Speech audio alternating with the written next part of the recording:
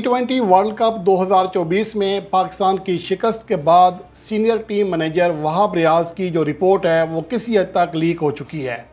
और गेरी क्रिस्टन इस हवाले से अपनी रिपोर्ट देने जा रहे हैं, लेकिन वो क्या रिपोर्ट देने जा रहे हैं, ये इससे पहले सबको पता चल चुका है। जब आखिरी बार प्लेयर से बात की थी तो उनका मौक़ वाज था। अब वहाब रियाज की और गेरी क्रिस्टन की जो रिपोर्ट है, लगभग सेम है। तो उसके बाद जो अब इसका मतलब क्या निकाला जा सकता है कि अब आगे पाकिस्तान टीम में क्या होने जा रहा है किस किस प्लेयर की छुट्टी होगी, ये अब किसी हद तक जो खदोखाल हैं पाकिस्तान टीम के, वो वाज हो रहे हैं। अब मैं बारी बारी उन तमाम चीज़ों के डॉट्स मिलाता हूँ जो कि इन दोनों की जो रिपोर्ट है और उसके बाद जो हमारे साथ हुआ, जो हमने देखा, उसके मुताबिक अब पाकिस्तान टीम आगे क्या करने जा रही है। पाकिस्तान क्रिकेट बोर्ड में क्या इस टाइम बहस चल रही है और इसके साथ साथ बांग्लादेश या इंग्लैंड के साथ इजाफी वनडे सीरीज़ इसकी ज़रूरत अब ऑफिशियली तौर पर बयान की जा रही है। और ये बात मैंने पहले कही थी तो ये तमाम चीज़ें डिस्कस करते हैं। सबसे अहम बात यह है कि वहाब रियाज ने जो अपनी रिपोर्ट में कहा है फ़िटनेस के मसले को सबसे ज़्यादा उजागर किया है कि हमारे प्लेयर्स की जो फ़िटनेस है, वो अप टू डेट नहीं है। आज के जो फ़िटनेस का मैार है उससे खासी कम है। लेकिन यहाँ सवाल ये पैदा होता है कि फिर पाकिस्तान टीम की सिलेक्शन किसने की थी? अगर पाकिस्तान टीम में ऐसे फिट खिलाड़ी नहीं थे तो उनको फ़िटनेस के लेवल तक पहुँचाने में, उस मैार तक पहुँचाने में ज़िम्मेदारी किसकी थी? तो इस हवाले से पहले क्यों नहीं इकदाम किए गए? और जो फ़िटनेस के काकोल में लगाया गया, उसके कोई अच्छे असरात सामने नहीं आ सके हैं। तो उसके अलावा इसका तो दूसरा मतलब ये है कि वहाब रियाज ने अपने ऊपर ज़िम्मेदारी लेने से इनकार करते हुए प्लेयर्स की फ़िटनेस के ऊपर मलबा डाला है। और उसके साथ साथ इस बात का भी इंदिया दे दिया है कि अगर वो एज ए सिलेक्टर या टीम के सीनियर मैनेजर कंटिन्यू करते हैं तो उनकी इंटेंट क्या है? यानी कि वो अब एक बार फिर से डंडा उठाने वाले हैं कि जो अनफिट प्लेयर्स हैं, उनको साइड किया जाए। अब अनफिट जो प्लेयर्स हैं वो कौन हैं? एक आज़म खान है, एक इमाद वसीम है, एक मोहम्मद आमिर हैं। यकीन इन तीन के ख़िलाफ़ जो है सूरत हाल थोड़ी सी चेंज होती हुई दिखाई दे रही है। एक तो एक फैक्टर फिटनेस का है। दूसरी जो अहम बात है कि वहाब रियाज ने अपनी रिपोर्ट में ये लिखा है कि खिलाड़ियों के अंदर कम्युनिकेशन गैप बहुत ज़्यादा था। यानी कि यही बात गेरी क्रेस्टन कह रहे हैं कि टीम में इतिहाद नहीं देखा। ये टीम टीम दिखाई नहीं दे रही थी। और ये बात मैंने आपको पहले बताई थी कि ऐसा कैसे हो सकता है कि एक टीम जो कि अपनी आखिरी छः बाहमी वनडे सीरीज़ में सिर्फ़ एक सीरीज़ हारी हो, पाँच में कामयाबी हासिल की हो और आखिरी जो सीरीज़ है एशिया कप 2023 से पहले उसमें एक चार से कामयाबी हासिल की हो आखिरी मैच में अगर पाकिस्तान टीम वो मैच जीत जाती तो पाकिस्तान टीम न्यूजीलैंड के खिलाफ पाँच सिफर का तारीखी क्लीन स्वीप करने जा रही थी। इस सूरत हाल के बाद अचानक एशिया कप के दौरान ऐसा क्या हुआ कि यकायक पाकिस्तान टीम की कारकर्दगी ख़राब हो गई? ये बात खुलकर सामने आई थी कि शाहीन अफरीदी का और बाबर आज़म का वहाँ तनाज़ा शुरू हो गया था और उसके बाद जो सूरत बनती गई और बिगड़ती गई, वो आपके सामने है। वर्ल्ड कप 2023 आपने देख लिया टी ट्वेंटी वर्ल्ड कप 2024 आपने देख लिया। टीम का जो माहौल है, वो टोटली चेंज हो चुका है। और ज़ाहिर सी बात है, जब टीम का माहौल चेंज होगा तो रिज़ल्ट भी चेंज होंगे। तो यहाँ पर गेरी क्रिस्टन ने या वहाब रियाज ने ख़ास तौर पर कप्तान बाबर आज़म को निशाना नहीं बनाया। हालाँकि मुझे लगता है कि as a captain Babar Azam से भी खासी, अच्छी खासी कोताहियाँ हुई हैं। अब इस बात की, ठीक है, आप उनके ये कह सकते हैं कि पाकिस्तान के टॉप स्कोरर थे रन्स कर रहे थे, कुछ ना कुछ कंट्रीब्यूट कर रहे थे, जहाँ बाकी बैट्समैन फेल थे, वो एक अलग चीज़ है। लेकिन as a captain Babar Azam ने गलतियाँ की हैं।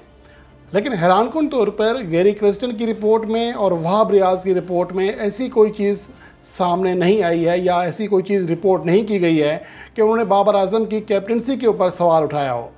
तो इसका मतलब फिर ये है कि वो बाबर आज़म को एज आगे कंटिन्यू करना चाह रहे हैं, जो लग रहा है।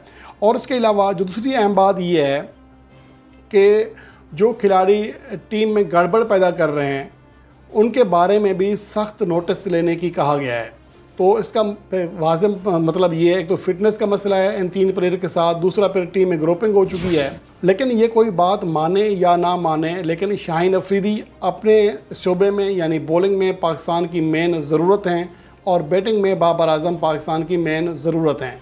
यहाँ पर ऐसा नहीं हो सकता कि एक ग्रुप को साइड लाइन कर दिया जाए, दूसरे को खिलाया जाए। तो इसके हवाले से पीसीबी को चाहिए कि इनके दरमियान जो भी मसला है, उसको हल करने की कोशिश करें। बजाय इसके कि मामला आगे बढ़ते जाएँ, कुछ खिलाड़ी एक एक ग्रुप में चले जाएँ, कुछ एक में चले जाएँ तो ये सारी चीज़ें जो हैं देखनी हैं।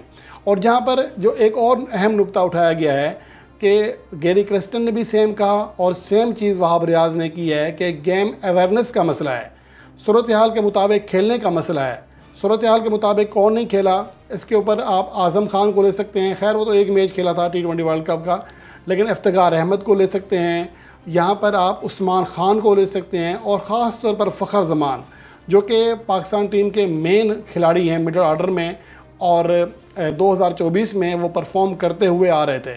लेकिन टी ट्वेंटी वर्ल्ड कप 2024 में वो ज़रूरत के बिल्कुल बरखिलाफ़ खेले, जिसकी वजह से पाकिस्तान टीम वहाँ पर जहाँ एक अच्छी सूरत हाल पर मौजूद थी जब पाकिस्तान टीम इंडिया के खिलाफ टारगेट चेस कर रही थी 120 रन का तो वहाँ पर अगर थोड़ा सा संभल कर खेलते, थोड़े रनस करते तो पाकिस्तान टीम जीत सकती थी। लेकिन उन्होंने ज़रूरत के बिल्कुल बरखिलाफ़ शार्ट्स खेले। शायद ये वजह है कि ये रिपोर्ट की गई है कि गेम अवेयरनेस का बहुत मसला है। और अगर गेम अवेयरनेस की बात करें तो मेरे ख्याल में फिर बाबर आज़म के ऊपर भी बात बनती है कि बाबर आज़म की कप्तानी की जो अवेयरनेस है वो भी नहीं है। मैंने जैसे पहले कहा था कि अगर आपके सुपर ओवर में जो खिलाड़ी हैं, वो विकटों के दरमियान रन्स करने की कोशिश कर रहे हैं, भागने की कोशिश कर रहे हैं तो एक खिलाड़ी विकटों के करीब लाजमी होना चाहिए था, ताकि कीपर थ्रो करता, फोर ही उसको रन आउट कर देता तो इतने रन ना बनते। और फिर हारिस रऊफ के जो आखिरी तीन गेंदें थी अमेरिका के ख़िलाफ़, उसमें भी मसला था। तीन गेंदों पर अगर 12 रन दरकार हैं और आप सिंगल रन रोकने के लिए अपने फ़िल्टर खड़े किए हुए हैं डाउन पे तो ये किसी भी तरह सरासर गलत फैसला था। तो इसका मतलब ये है कि बाबर आज़म को भी कप्तानी की अवेयरनेस नहीं है। तो ये चीज़ें भी रिपोर्ट होना चाहिए। और उसके अलावा जो और अहम बात है वो ये है कि अब आगे जो है, वो ये कह रहे हैं कि पाकिस्तान के पास बैकअप नहीं है। वहाब रियाज ने जो कहा है, इसके लिए इजाफी सीरीज़, इजाफी क्रिकेट होने चाहिए। उसके हवाले से मैंने पहले कहा था कि पाकिस्तान क्रिकेट बोर्ड को चाहिए कि पाकिस्तान के वनडे बहुत कम हैं। आईसीसी चैम्पियन ट्रॉफ़ी की मेज़बानी करनी है और अपने मुल्क में है। तो यहाँ पर ज़ाहिर सी बात है, पहले ही कि वर्ल्ड कप के बाद हम कोई वनडे नहीं खेले हैं।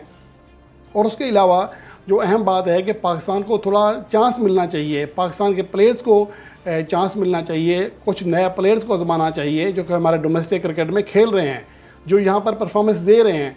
और इसके लिए पाकिस्तान को, के लिए ज़रूरी है कि बांग्लादेश, जो कि अमूमन पाँच सितंबर तक इम्कान ज़ाहिर किया जा रहा है कि उनका टूर पाकिस्तान का ख़त्म हो जाएगा। 20 अगस्त को वो टीम यहाँ आ रही है, दो टेस्ट मैच खेलने के लिए। तो पाँच सितंबर के बाद कम अज़ कम तीन वनडे मैचेस की सीरीज़ उनके साथ रखी जा सकती है। और उसके अलावा इंग्लैंड, जो कि सितंबर के आखिर में या मिड में आएगी, उनके साथ भी प्लान किया जा सकता है कि दो या तीन वनडे उनके साथ भी रखे जा सकते हैं। क्योंकि ये दोनों टीमें चाहेंगी कि पाकिस्तान में खेलें ख़ास तौर पर इंग्लैंड की टीम, जिसने यहाँ पर आईसीसी चैम्पियन ट्रॉफी कुछ ही माह बाद खेलनी है। इसलिए वो भी चाहेंगे। तो ये पाकिस्तान क्रिकेट बोर्ड ने प्लान करना है। तो ये अब सिनारियो है। एक तो ये कि अब ऑफिशियली तौर पर पाकिस्तान क्रिकेट बोर्ड में इजाफी सीरीज़ की बात शुरू हुई है और ये मैंने वर्ल्ड कप 2024 ख़त्म होने, होते ही जो कि पाकिस्तान के लिए ख़त्म हुआ हुआ था तो उस टाइम मैंने कहा था। लेकिन ये एक अच्छा साइन है कि ऑफिशियली तौर पर यह बात हो रही है। लेकिन दूसरी जानब जो इंटेंट शो हो रहा है वो ये है कि पाकिस्तान क्रिकेट बोर्ड की जो सिलेक्शन कमेटी है, वो कुछ नए प्लेयर्स को आजमाना चाहती है। लेकिन बाबर आज़म और रिजवान के हवाले से फ़िलहाल ऐसी कोई रिपोर्ट में बात नहीं आई है कि उन्हें साइड लाइन किया जाएगा।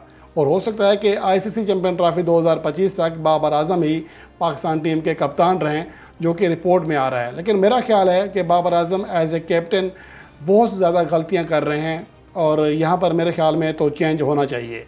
मोहम्मद रिजवान इसके लिए फ़िलहाल बेस्ट चॉइस दिखाई देते हैं। बाबर आज़म की आप बैटिंग के ऊपर बात कर सकते हैं कि वो अच्छी बैटिंग कर रहे हैं, मुश्किल कंडीशंस में रन्स कर रहे हैं। लेकिन इसके साथ साथ जो उनकी गलती है, जो खामी है, वो भी बताना चाहिए। वहाब रियाज ने हैरान कन तौर पर बाबर आज़म की कप्तानी को बिल्कुल टच नहीं किया, जो कि एक मेरे लिए भी खासी हैरान कन बात है।